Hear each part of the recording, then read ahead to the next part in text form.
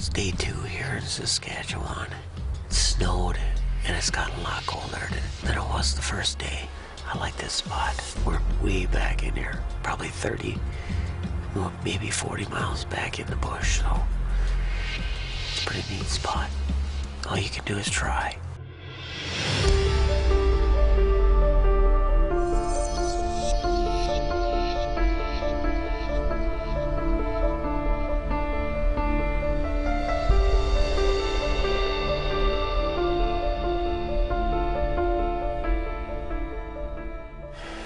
Some tough luck, and we're really looking for this big, massive, heavy, horned, uh, massive bodied deer. I mean, got a couple photos of them, but they're all nighttime.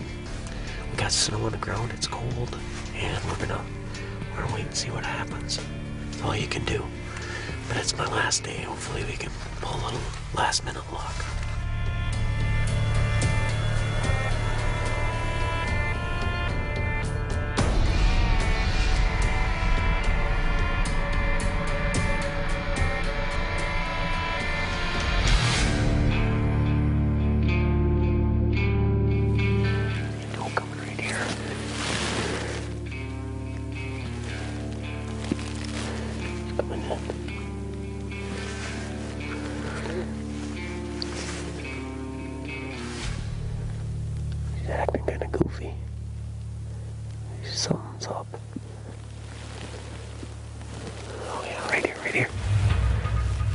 Buck.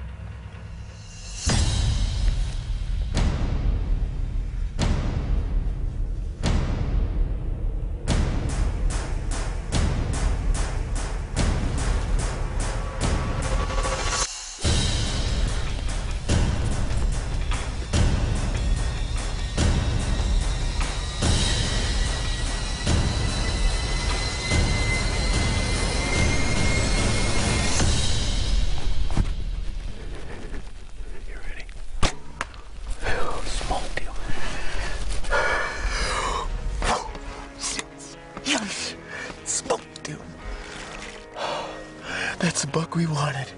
Yeah, baby. It pays to be patient here in Saskatchewan. Because we were after that buck. My first buck with my Mathews Creed.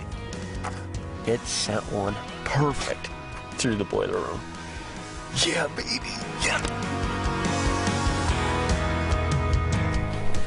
Right here it is. Arrow land right there. He's laying right over here. 15 yards is all he went.